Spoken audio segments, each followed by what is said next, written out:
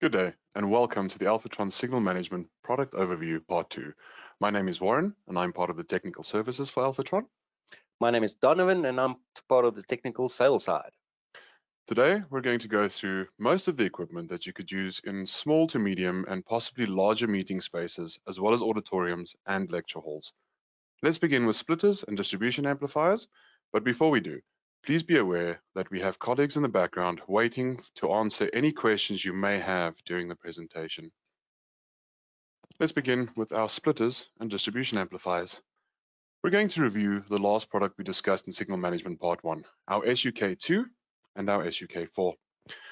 The Alfatron ALF SUK2 is an HDMI splitter featuring the capability to repeat HDMI or DVI source to two displays simultaneously. Compliance with HDMI 2.0 and HDCP 2.2, the ALF SUK2 provides comprehensive resolution cap capacities up to 4K and 1080p 3D. It's capable of automatically recognizing the resolution and HDCP compliance status of the input signal. The input signal will automatically be equalized for the reliable transmission of proper EDID management. Moreover, the SUK2 supports convenient online update through USB support. The firmware port right there. That's Micro USB. The ALF SUK2 is the same as the SUK. Uh, SUK4 is the same as the SUK2, except it has two outputs extra, making it four outputs in total. Why it's the SUK2. Yeah. yeah, two in, there, one in, one in, two out, four, four out. So yeah, great That's for it. reception areas. So when you have Perfect. one input device, PC, laptop, whatever it might be, to display some information on your company, different parts of the reception area. Sure, it depends on how big versa. the foyer is, you know. 100%, yeah. and then you could use that. Yeah, or if you have two displays, SUK2 is also perfect. 100%. One behind reception, one in front where you have the, you know, where the people go and sit down and wait for their meetings and so on. Yeah. Hmm. So perfect. the SUK4T is uh, four in, one in four out splitter. There are four HD base T outputs which mm-hmm. connect to the receiver up to 230 feet, 70 meters, or yeah. 131 feet, 40 meters um, for 4K. Yeah. There is an HDMI output for local display as well. Mm -hmm. So, I mean, other features that are overlooked is the fact that the unit supports bidirectional IR as well as RS232 control. So the unit can be controlled from the display end via IR remote controller or a PC that is connected to a device for RS232 control. Yeah, so maybe if you have a signal device or signal that you would distribute to multiple places within in a building, that's not necessarily line of sight. You want to distribute an HDMI signal far end, so four of them, one HDMI inputs, four HD T outputs to the various devices throughout, and you also have local monitoring, so you could see what you're sending basically. Which is perfect. Yeah. I mean, if you think about it, if you have a three-story building or so on, and you have these displays sitting on each floor that you want to show off if there's a reception area for each floor, then at least you can send the signal via this guy because it will take that 70 meters 108p via cat cable. Yeah. So mm. just straight out of the box, HD based output to the multiple receivers, and you're done. No yeah. need for less devices, obviously, uh, results less in points less of failure. Points of failure, mm. exactly. We're going to move on to our modular matrix range now, and we're going to expand on the usability and applications of these matrices. There are situations where the inputs and outputs differ in large installs. I mean, legacy VGA input from an outdated PC that needs to display a DVI input. How do you overcome this without multiple converters and additional points of failure? With our modular matrix, of course. Yeah, as you can see, there are multiple models within this range ranging from eight inputs, eight outputs to 144 in and 144 out. Yeah, that's a that's a lot. Yeah, these uh, the size of the rack required is displayed fortunately.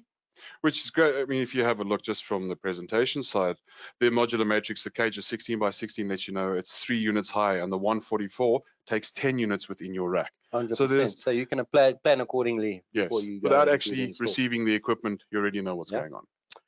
So the outputs available are HDMI, DVI, VGA, SDI, HDMI, HD base T, yeah. as well as fiber. Yeah. There are also seamless options available, uh, seam fiber seamless options available for instantaneous switching. Always helps. Yes, it does. I mean, if you don't want to wait that additional two, three seconds for the next slide to move over or anything like that that you've got from your input, instantaneous, it's done immediately. Hundreds, those are available. The control options are either via the front panel buttons, RS232, or TCP IP control, which assists when you're in a control room and additionally, there's a redundant power input should the circuit that it's plugged into fail. Hundreds, yes. So again, you could maybe have this in a server room somewhere. Um, HD base T or church I was actually thinking of, Yeah. where you have far end HD base T inputs to the matrix, maybe some local monitorings as well as some local inputs as well, Mm. um, you know, whatever the case might be, and then HD base T outputs or HD base T outputs as mentioned, and legacy, legacy devices VGA as well. Yeah. So you can maybe mix and mix and match them as you'd like. You Mm. don't, you're not stuck with something. Just build them accordingly. As required for your install. You know, all the planning that goes into it, you know that you're going to need three HDMI, one DVI, and one VGA input. You can Yeah. do that with these guys, soldable cards, and off you go. Hundreds, yeah, and just populate the the the um, Modular matrix is needed. unit as you lead the Yeah. Yes, pretty much. Yeah. So if you only wanted one input and the rest, uh, 143 outputs, for instance, you could you go could do it. that. Yeah, on multiple different sorts of, you know, VGA, SDI, Outputs whatever the case may be. Yeah. Right. Oh yeah, now we're going to do the matrix switcher range, the Ah. smaller entry level ones. Let's uh, let's start with the MEH 44 ARS. This guy over here. It has four in and four output HDMI. It's our four in, four out HDMI matrix, allowing you to push any input to any output.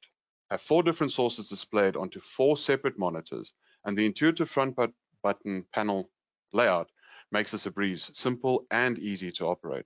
Yes, it also supports RS232 and Nice. IR4 controls, ensuring that you need not to be at the device when doing the switching or splitting or Sure. you know matrixing as such. Yeah, I mean, if, if you have a look at it because of its size, this is not going to switch in like we spoke about our modular matrices. Sure. This is not going to go into a rack. This is most likely going to be mounted beneath Rack the table. mount is. Yeah, There we go. and it goes beneath the table. Now, you of course don't want to get down the whole time to change as you need to what input goes to what output. And that's where the control options come into play.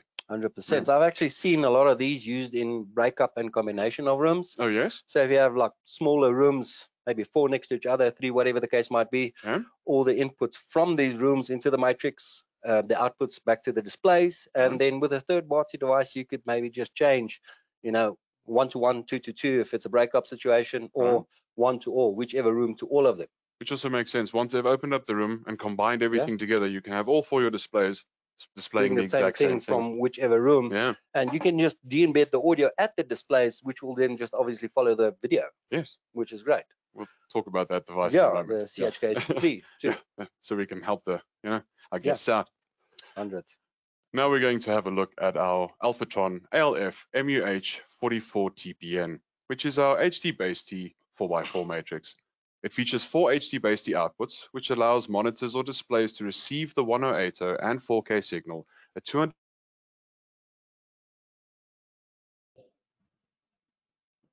There is some difficulties at the moment.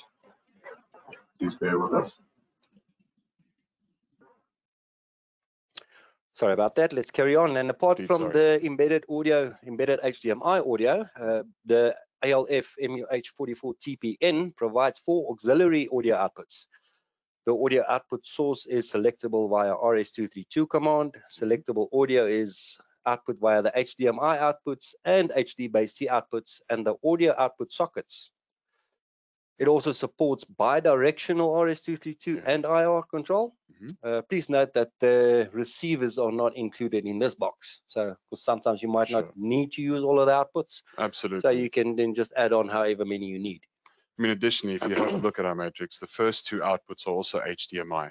So if you only needed one more receiver, you don't need to purchase a complete unit with four of those receivers in there if you're not going to use it. Sure, it adds a bit of flexibility on that part.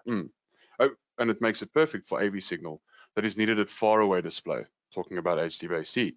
And of course, on multiple displays, which may need different information on different screens in different zones or departments. The Alfatron ALF MEH88TPN features the same abilities as the one that's being displayed, the ALF MEH44TPN, just with eight inputs and eight outputs for larger installs. That's it, yeah. The MUH44E 4K HD base T home distribution hub kit, Yeah.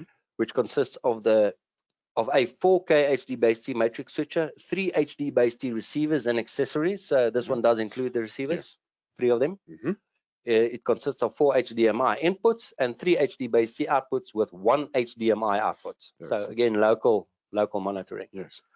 In line with our professional range of range of matrices, the unit is compatible via is controllable via bidirectional IR, Mhm. RS232, or guided user interface, known within the industry as a GUI.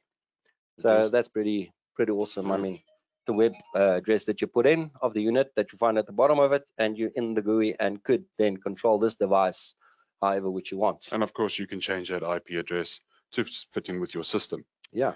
Now, the Alfatron MEH44E E or the MEH88E is compatible or capable rather of delivering 4K signals up to 131 feet or 40 meters, 108OP up to 230 feet or 70 meters and powering receivers via a single Cat6 cable.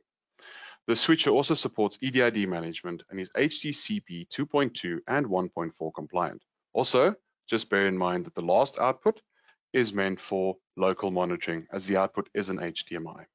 Sure. So maybe where you have this in your r- uh, cabinet, maybe in front, Mhm. we have a couple of TV boxes, let's say an Xbox or PlayStation, CCTV, whatever HDMI input. Right. You could sit in this to multiple different rooms within the building, house, whatever it might be.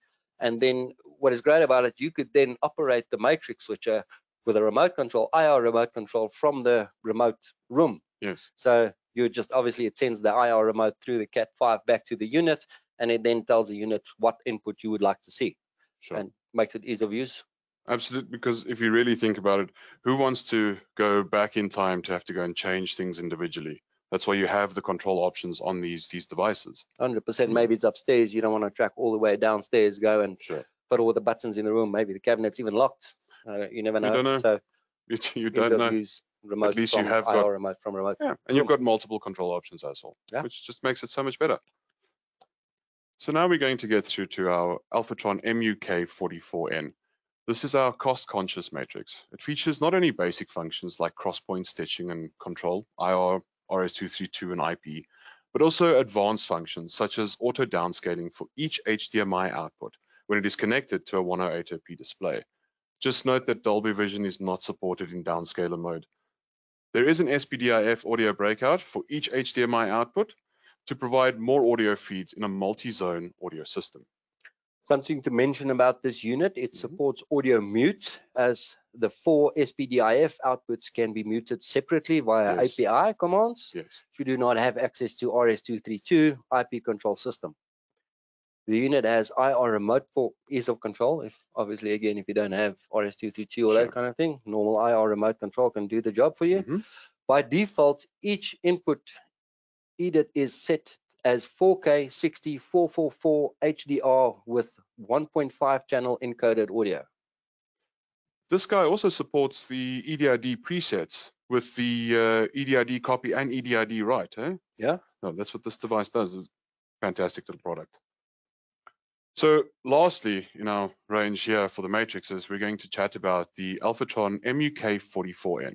It is a 4K 4x4 HDMI 2.0 matrix switcher with four HDMI inputs, four HDMI outputs, and four SPDIF audio outputs, which is designed for switching four HDMI 2.0 and HDCP 2.2 compliant signals. The unit also provides powerful EDID management to ensure reliable AV distribution and routing. It is fully controllable via the front panel, IR, RS232, TCP/IP, and web-based GUI. This is the guy we're talking about. Yeah, the MUK88 has the same features as the MUK44, but obviously eight outputs, inputs That's rather it. than four, so eight by eight or four by four. Maybe placed in a control room, different displays, and you want to mix and match or pull up whatever display on whatever uh, whatever input to whatever display. Yeah. This is the guy you want to use. So also, yeah, like you said, controllable by a third party I- RS232. Yeah, RS232, Also the web GUI on this one, and Mhm. yeah, again a remote control. IR, EDID management dip switch right there as well, so you can put it For through for your displays. Absolutely, because with electronic displays nowadays, there's there's so much different information coming from them, and that's why EDID is prevalent in these cases. And you never know what you're going to get on site. yeah, you've So got two different displays. You've got to try and match them somehow. No. Play along with the E you could go into the GUI and do the adjustments, but I mean, on the fly, you could just check on the manual, what resolution, Change what edit you need. And the dip switches are right there Yeah. for ease of use. especially for the guy who's integrating it now. You can go and play with it to have a look exactly that the displays are fine without actually having access, like you say, Yeah. to the web GUI for the meantime. So yeah, multiple ways of doing the configuration on Mm. the fly also. Yeah. Uh, next up, we are going to do go through the audio equipment of the Yeah, Alfatron range. pretty much our audio D embedders and converters. That's it. Hmm. We're going to have a chat about these two over here. So we're going to chat first about the ALF CHKA2, which is, as you can see, a small size HDMI 2.0 audio D embedder with one HDMI input, one HDMI output, and three types of audio outputs. It is designed to extract audio from HDMI signal via stereo balanced left and right audio, analog RCA, and coaxial digital audio output ports. It supports 4K at 60 hertz, 444, HDR, Yeah. EDID, and CEC pass-through. Mhm. And the transmission rate is up to 16 gigabits per second. That's quick. That is quick. Yeah. Yeah. Moreover, moreover, there are three audio modes that can be chosen in order to be compatible with the various audio processing devices, namely pass, bitstream, and PCM. So all sits on the Right toggle there. switch right there. Oh, we mentioned earlier that you would de-embed audio from the display, maybe doing a matrix to multiple rooms, and this is the device you would do it with. So let's just let's show them. Yeah. You're talking about the MEH 44, hey? Right? Right. This is the MEH 44. Here is the Alfatron CHKA, and Donovan's going to walk us right through it now. So So outputs. So we need input. inputs, So Yeah. you got your HDMI. HDMI in, HDMI out to your display, Mhm. and then on the other side you got either your speaker outs, maybe you got a pair of active speakers in the room that Yeah. could be used quite useful, or stereo audio outputs to legacy device amplifiers. from your RCA straight out. I mean, this is perfect because it goes, you could even have it as local monitoring if you wanted to. Output from there, input into this guy. It outputs the audio separately from there, goes off into your display. No your hassles. uncle. Audio Yeah. out of that directly into your, sys- your system, and then obviously your audio just follows your video because you're de-embedding from the HDMI, That's it. which makes it quite easy, Yeah. easy, nice and easy to Sure. set up a system. Even if you had to run this via HDBaseT, the output is HDMI into the CHKA2. HDMI, it That's takes the the, audio and it embeds it, de-embeds it. And then of course you can just select as you need to. You know, if it's PCM, pass or bitstream. Now we're going to have a chat about the CV DAC, this little guy right here. It's designed to convert coaxial or Toslink digital audio input to analog left and right and 3.5 audio output. Simultaneously, the converter provides coaxial SPDIF output for a digital audio extension. The unit is ideal for interfacing between modern digital audio video devices with analog amplifiers or self-powered speakers. What's great about this device is that it supports one audio Mm. input splitting to three audio outs. It supports up to 24 bits, 192 kilohertz inputs. PCM, Dolby Digital, or DTS formats for digital audio extension only. Yeah. So as an example, uh, we could use the SPDIF Toslink audio outs. This is also another. It's also feature. applicable, yeah, to the MEH44 as well on top of it. hundred percent. Um, out of that, the Yeah. CV DAC will then convert the audio to analog output for legacy amplifier. So yeah, of course go. Yeah. audio out. So what's our audio sends to all of these? So you can use the coaxial, stereo audio out, or maybe just a couple of headphones to make sure that you are getting the audio to this box. Yes. So yeah, Or alternatively, you can just maybe it it on helps the with fault 3.5 down the line. Yeah, Sure. 3.5 mil. A lot of guys like to use it. So Yep. out of that into whatever device, and you still have your stereo. And off you go. Yeah. Yeah. Now we get to the last section of our presentation. We're going to talk about Alfatron signal cables. We're going to start off with the Alfatron HDMI, which I don't have with me here. The cables come in various sizes, ranging from as little as two feet or 0.6 meters up to 50 feet or 15 meters, and are all capable of transmitting 4K signal. We have two unidirectional cables that have the USA active chipsets in them, and this is the 35 and 50 foot cables. Sure. So in addition, we also have the fiber HDMI that ranges from Yes. 50 feet, which is 15 meters, or Mm. 200 feet, 60 meters, with all, which are all 4K 60444 compatible. Yes. Just bear in mind that these cables are fiber and cannot be bent around tight corners. Yeah. Yeah. The fiber itself might break initially and then, you know, just disrupting the signal completely. And that's where the problem comes in, of course, because of what it's made out of. I mean, once the light can't pass through, if it's jagged at all, you're not going to get any signal through whatsoever. As a rule of thumb, with a fiber bends no more than the diameter of a can of Coke. It may sound a little bit strange, but you know that you're not taking it even close to that 90 degree bend where you would have that possibility of snapping the, the cable itself. Sure, nothing worse than having a cable snap, a fiber cable running it far away and you need to replace it. And you've, yeah, yeah, So or it is fiber. I mean, if you had if you had the splicing equipment, sure, but then yeah, that's another whole story completely. It's not always easy. We've got a No. couple of, I'm sure there's a couple of pros out there that might do it quick and easy, but yeah, not Yeah, you wanna generally- endure. Yeah, absolutely not. Absolutely not. We are. So these guys, you're going to chat about these guys now. USB cable. Mm, yeah, two and three. Please take it away. Sure. So lastly, we're going to mention the USB extension cables. Uh, we offer the USB 2.0 and USB 3.0 extensions from 16 feet, 5 Mhm. meters, or 50 to 50 feet, 15 meters.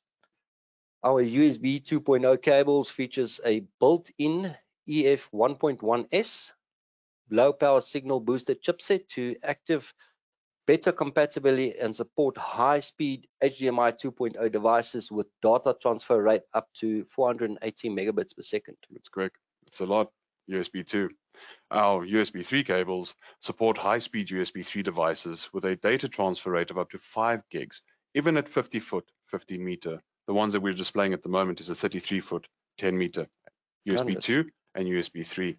So basically we need a bit of uh, HDMI, we HDMI 3.0 is required. That's a bit further than your usual given distances. Um, you know, there you go. That's what you need. Just Yeah, just extended with that USB cable right 3 there. in, USB 3 out. Sure. Compatible. We've tested it with quite a bit of uh, products and it Yes. works fine. Works Yeah, we've tested it with our cameras as well. It's great to extend it, especially when that USB is only a meter and a half or two meters and you can't have it that close by. Hundreds, you yeah. know? It's, yeah. So this concludes our presentation for today. I do hope that it has been informative. Um, please visit our website for more information and not only on this presentation's offerings, but also on our other products. Thank you for your time. Keep safe. And we'll see you next time, unless there's any questions. Yeah, that, you guys uh, to ask, yeah. we've got some guys on the back end, yeah, waiting for the questions. So please feel free.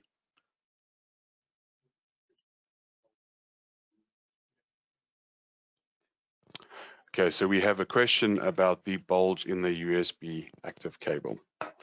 So the chipset and so on sits within the PCB that is placed within this little bulge here. right? So that of course would then go in through to your PC and this would then be on the outside.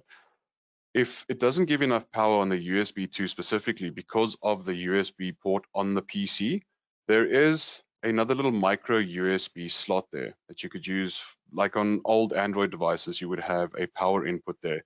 This takes the same sort of power. So it would just give it that initial little boost to get the signal across. If the USB port from the PC itself does not give enough power, it doesn't give full 5 volts if it gives 4.6 volts or something Obviously, like over the distance, the voltage would drop and Sure. you would need a bit of extra power. And that's what that USB from. Yeah. from your display directly into that Mhm. and all The- done. This, of course, on the USB 3 is a little bit different because the, the power is different on the USB port on the PC, for instance. So it's got two repeaters that will sit in there. And additionally, if the length is too much, we still have another power input on the side there.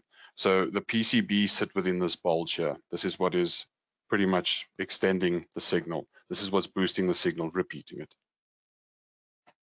Yeah. Just having a look at our colleagues over there. If there's another Any more question, questions? It doesn't appear to be.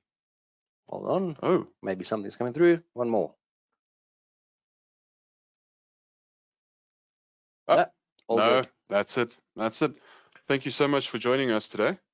Uh, we will have our signal management part three up in the next two or three weeks as well. Eh? Yeah, this Yeah. video will be posted if there's some guys that unfortunately could not join. It'll be available on our website. Mhm.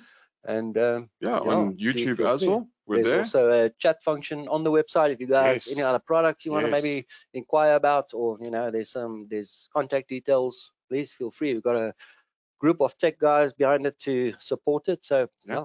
please, any questions you got, post them. There's always someone online. Hundred percent. Take care of yourselves. Goodbye. Cheers.